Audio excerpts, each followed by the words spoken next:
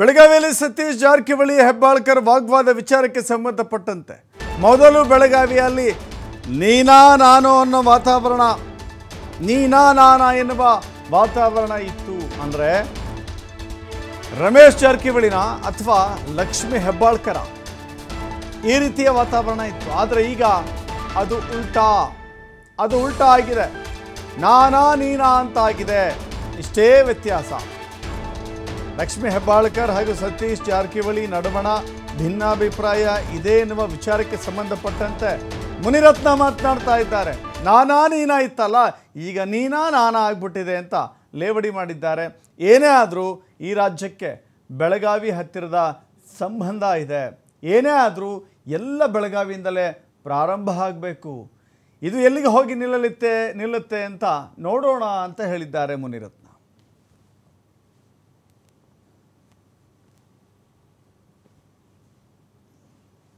ಬೆಳಗ್ಗೆ ಯಾರೋ ಕೇಳಿದ್ರು,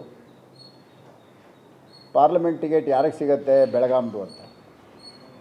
ಜಾರಕಿಹೊಳಿಯವ್ರಿಗೆ ಸಿಗತ್ತೋ ಅಥವಾ ಲಕ್ಷ್ಮೀ ಹೆಬ್ಬಾಳ್ಕರ್ ಅವ್ರ ಮಗನಿಗೆ ಸಿಗತ್ತೋ ಅಂತ. ನಾನು ಭಾಳ ಸ್ಪಷ್ಟವಾಗಿ ಹೇಳಿದ್ದೀನಿ. ಇದರಲ್ಲಿ ಲಕ್ಷ್ಮೀ ಹೆಬ್ಬಾಳ್ಕರ್ ಅವ್ರ ಮಗನಿಗೆ ಸಿಗತ್ತೆ ಅಂತ ನನ್ನ ಒಂದು ಅನಿಸಿಕೆ. ಯಾಕಂದರೆ ಸತೀಶ್ ಜಾರಕಿಹೊಳಿ ಅವರು ದಿನೇ ದಿನೇ ಒಂಥರ ವೀಕ್ ಆಗ್ತಾ ಇದ್ದಾರೆ ಬೆಳಗಾಂ ಡಿಸ್ಟಿಕಲ್ಲಿ ಯಾಕಂದರೆ ಅವರು ವೀಕ್ ಆಗಿದ್ದಾರೆ ಅಂತ ಹೆಂಗನ್ಸತ್ತೆ ಅಂದರೆ ಇಪ್ಪತ್ತು ಜನನ ಕರ್ಕೊಂಡು ಹೋಗೋದಕ್ಕೆ ಯಾವಾಗ ಅವರು ಒಂದು ಬಸ್ ರೆಡಿ ಮಾಡಿದ್ರು, ಅಲ್ಲೇ ಗೊತ್ತಾಗ್ತಾ ಇದೆ.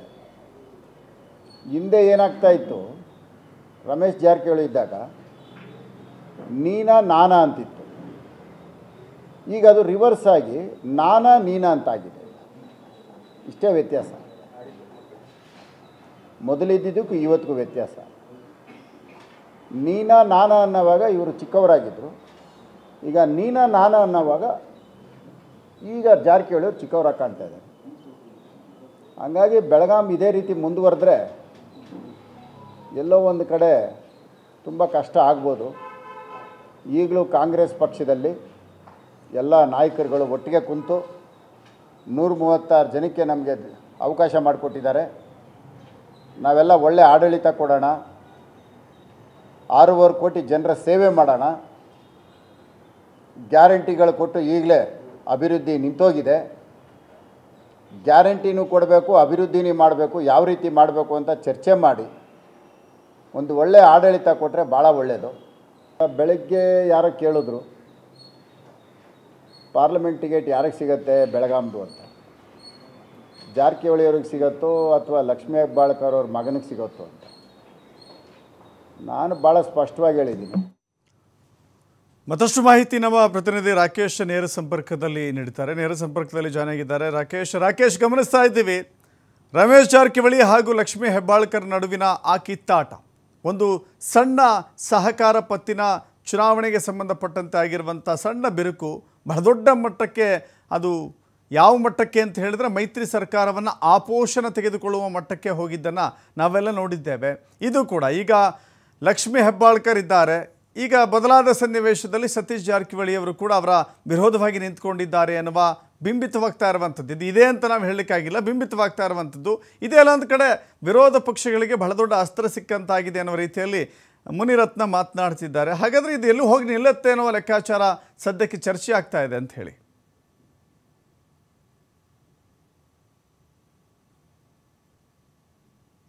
ಮತದ ವಿಚಾರ, ಅಂದರೆ ಕರೆಯಲ್ಪಡುತ್ತಿರುವಂಥ ಈ ವಿಚಾರದಿಂದಾಗಿ ಈಗಿನ ರಾಜ್ಯ ಸರ್ಕಾರವು ಕೂಡ ಸಂಕಷ್ಟಕ್ಕೆ ಸಿಲುಕಬಹುದು ಅನ್ನುವಂತಹ ಆತಂಕವನ್ನು ಬಿ ಜೆ ಪಿಯವರು ವ್ಯಕ್ತಪಡಿಸಿದ್ದಾರೆ. ಅಂದರೆ ಪರೋಕ್ಷವಾಗಿ ಅವರಿಗೆ ಈ ವಿಚಾರದಲ್ಲಿ ಲಾಭದ ಸನ್ನಿವೇಶ ನಿರ್ಮಾಣವಾದರೂ ಕೂಡ ಜನ ಕೊಟ್ಟಿರುವಂತಹ ಬಹುಮುಖ್ಯವಾದ ಬೆಂಬಲದ ಜನಮನ್ನಣೆಯ ಸರ್ಕಾರ ಅಂತ ಗುರುತಿಸಿಕೊಳ್ತಿರುವಂಥ ಈ ಕಾಂಗ್ರೆಸ್ ಸರ್ಕಾರದಲ್ಲೂ ಕೂಡ ಬೆಳಗಾವಿ ರಾಜಕಾರಣದ ಈ ಸಣ್ಣ ಒಂದು ಬದಲಾವಣೆಯ ಕಿಡಿ ರಾಷ್ಟ್ರ, ರಾಜ್ಯ ರಾಜಕಾರಣವನ್ನೇ ಬದಲಾಯಿಸಬಹುದು ಅನ್ನುವಂಥ ಒಂದು ಸೂಚನೆಯನ್ನು ಕೊಡ್ತಿದೆ ಅನ್ನುವಂಥ ಮಾತನ್ನು ಅವ್ರು ಹೇಳ್ತಿದ್ದಾರೆ. ಅಂದರೆ ರಾಜ್ಯ ಸರ್ಕಾರದ ವಿಚಾರದಲ್ಲಿ ಪ್ರತಿ ಬಾರಿ ವಾಗ್ದಾಳಿ ನಡೆಸ್ತಿದ್ದಂತಹ ಬಿ ಜೆ ಪಿಗೆ ನಿಖರವಾದಂತಹ ರಾಜ್ಯ ಸರ್ಕಾರವನ್ನು ಕಟ್ಟಿಹಾಕಲಿಕ್ಕೆ ಬೇಕಾದಂತಹ ಅಸ್ತ್ರ ಸಿಕ್ಕಿರಲಿಲ್ಲ.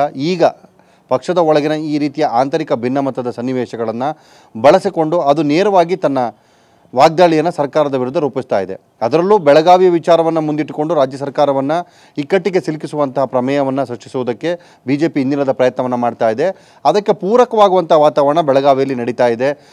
ಸಚಿವರಾದಂತಹ ಲಕ್ಷ್ಮೀ ಹೆಬ್ಬಾಳ್ಕರ್ ಮತ್ತು ಸತೀಶ್ ಜಾರಕಿಹೊಳಿ ಅವರ ನಡುವೆ ವೈಮನಸ್ಸಿದೆ. ಅದು ವೈಮನಸ್ಸಿಗೆ ಕಾರಣ ಮೂರನೇ ವ್ಯಕ್ತಿ.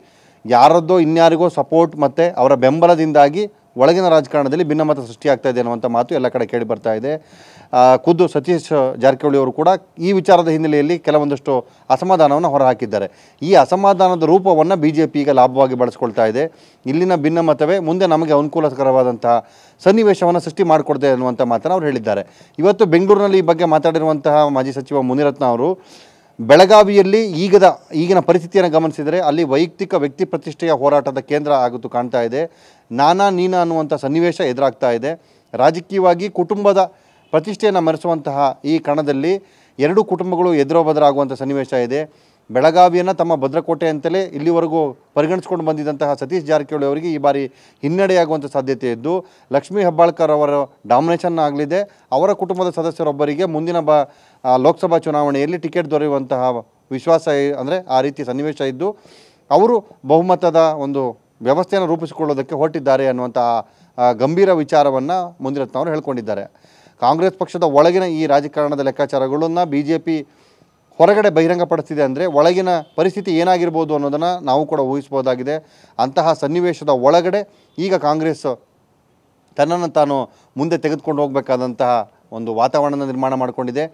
ಇದು ಮುಂದಿನ ದಿನಗಳಲ್ಲಿ ಕಷ್ಟ ಸನ್ನಿವೇಶವನ್ನು ನಿರ್ಮಾಣ ಮಾಡ್ತದೆ ಅನ್ನುವಂಥ ಮಾತನ್ನು ಅವರು ಹೇಳ್ಕೊಂಡಿದ್ದಾರೆ. ಬೆಳಗಾವಿಯ ಈ ರಾಜಕಾರಣದ ದೃಷ್ಟಿಯಿಂದಲೇ ಎಲ್ಲವೂ ಕೂಡ ಬದಲಾಗಬಹುದು. ಹಿಂದೆ ನಮ್ಮ ಮೈತ್ರಿ ಸರ್ಕಾರಕ್ಕೂ ಕೂಡ ಇಂಥದ್ದೇ ಸಮಸ್ಯೆ ಎದುರಾಗಿತ್ತು. ಈಗ ಅದೇ ವಾತಾವಂಥ ವಾತಾವರಣ ಆಗಬಹುದಾದಂಥ ಸಾಧ್ಯತೆ ಇದೆ. ಲೋಕಸಭಾ ಚುನಾವಣೆಗೂ ಮೊದಲೇ ಸರ್ಕಾರದಲ್ಲಿ ಬದಲಾವಣೆ ಕಂಡರೂ ಅಚ್ಚರಿ ಇಲ್ಲ ಅನ್ನುವಂಥ ಮಾತನ್ನು ಕೂಡ ಅವರು ಹೇಳ್ಕೊಂಡಿದ್ದಾರೆ. ಇದೇ ಮಾತನ್ನು ಬಿ ಹಲವು ಮುಖಂಡರುಗಳು ಕೂಡ ಹೇಳ್ತಿದ್ದಾರೆ. ಅಂದರೆ ಎಂ ಪಿ ಎಲೆಕ್ಷನ್ಗಿಂತ ಮೊದಲೇ ಬದಲಾವಣೆ ಆಗ್ಬೋದು ಅಥವಾ ಚುನಾವಣೆ ಬಳಿಕವಾದರೂ ಸರ್ಕಾರದಲ್ಲಿ ಒಂದಷ್ಟು ಭಿನ್ನಮತ ಆಗ್ಬೋದು, ಜನ ಕೊಟ್ಟಿರುವಂಥ ಸರ್ಕಾರ ತನ್ನ ಅಧಿಕಾರದ ಅವಧಿಯನ್ನು ನಿರ್ಧಾರ ಮಾಡುವುದು ಕಷ್ಟ ಅನ್ನುವಂಥದ್ದನ್ನು ಹೇಳ್ಕೊಳ್ತಿದ್ದಾರೆ.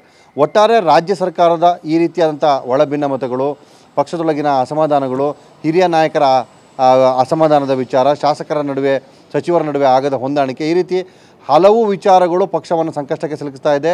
ಸರ್ಕಾರವನ್ನು ಕೂಡ ಮುಂದೆ ತೆಗೆದುಕೊಳ್ಳೋದು ಹೋಗೋದಕ್ಕೆ ಎದುರಾಗ್ತಿರುವಂಥ ಸಮಸ್ಯೆಗಳಲ್ಲಿ ಇದು ಕೂಡ ಪ್ರಮುಖ ಆಗ್ತಾ ಇದೆ. ಇವುಗಳ ಜೊತೆಗೆ ಮುಖ್ಯಮಂತ್ರಿ ಮತ್ತು ಡಿ ಸಿ ಎಂ ನಡುವೆ ಕೂಡ ಮನಸ್ತಾಪವಿದೆ. ಕಾಂಗ್ರೆಸ್ನ ಹೈಕಮಾಂಡ್ ಇಲ್ಲಿಂದ ಕಮಿಷನ್ ಕಲೆಕ್ಟ್ ಮಾಡುವ ಪ್ರಕ್ರಿಯೆಯನ್ನು ಮಾಡ್ತಾ ಇದೆ. ಎ ಟಿ ಎಂ ಆಗಿ ಕರ್ನಾಟಕವನ್ನು ಬಳಸ್ಕೊಳ್ಳೋದ್ರಿಂದಾಗಿ ಅವ್ರಿಗೂ ಕೂಡ ಕಲೆಕ್ಷನ್ ದಂಧೆಯನ್ನು ಮಾಡೋದಕ್ಕೆ ಅವಕಾಶವನ್ನು ಮಾಡಿಕೊಡ್ತಿದ್ದಾರೆ. ಇಲ್ಲಿಂದ ಬರುವಂಥ ಹಣವನ್ನು ಪಂಚರಾಜ್ಯಗಳ ಚುನಾವಣೆ ಬಳಸೋದಕ್ಕೆ ಕಾಂಗ್ರೆಸ್ ಹೈಕಮಾಂಡ್ ಮುಂದಾಗ್ತಾ ಇದೆ. ಆ ನಿಟ್ಟಿನ ನಿರ್ದೇಶನಗಳು ಸಿಕ್ಕಿದೆ. ಭ್ರಷ್ಟಾಚಾರದ ಆಡಳಿತ, ಭ್ರಷ್ಟಾಚಾರ ರಹಿತ ಅಂದು ಭ್ರಷ್ಟಾಚಾರದ ಆಡಳಿತವನ್ನು ಮಾಡೋದಕ್ಕೆ ಕಾಂಗ್ರೆಸ್ ಹೊರಡ್ತಾ ಇದೆ. ಈ ರೀತಿಯಾದಂಥ ಎಲ್ಲ ಆರೋಪಗಳನ್ನು ಬಿ ಜೆ ಪಿ ಮಾಡ್ತಾ ಇದೆ.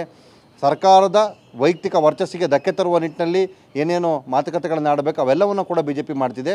ಅದೃಷ್ಟವೋ ದುರದೃಷ್ಟವೋ ಗೊತ್ತಿಲ್ಲ. ಅದಕ್ಕೆ ಪೂರಕವಾದಂಥ ವಾತಾವರಣ ಕಾಂಗ್ರೆಸ್ ಒಳಗಡೆ ನಿರ್ಮಾಣ ಆಗ್ತಾ ಇದೆ.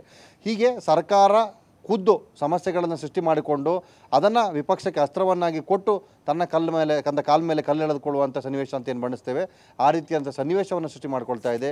ಇದು ನಿಜಕ್ಕೂ ಮುಂದೆ ಸಂಕಷ್ಟವನ್ನು ತರಬಹುದು ಅನ್ನುವಂಥ ವಿಶ್ಲೇಷಣೆಯನ್ನು ಬಿ ಜೆ ಪಿಯವರು ಮಾಡ್ತಿದ್ದಾರೆ.